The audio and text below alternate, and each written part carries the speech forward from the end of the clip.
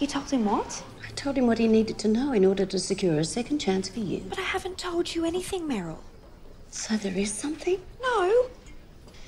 Yes, but you don't know what it is and you shouldn't have pretended that you did. I don't want my job back if it means burning Mr. Collins. I'm not you. I don't know how to do this stuff. If Mr. Collins' happiness is more important to you than the mediocre dulling of those young minds. You've completely stacked the panel. Unbelievable. Nonsense. Perfect slice of the community. Okay, everybody, if you wouldn't mind taking your seats, please.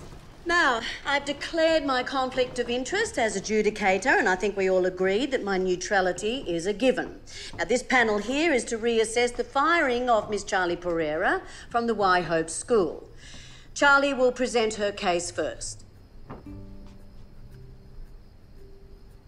I believe in progressive education. I believe in challenging young hearts and minds. Now, I've only just begun with these kids. Please don't take me away from them when I still have so much work to do. They're our future generation, and I'm here to show them the way. If that's wrong, then sack me.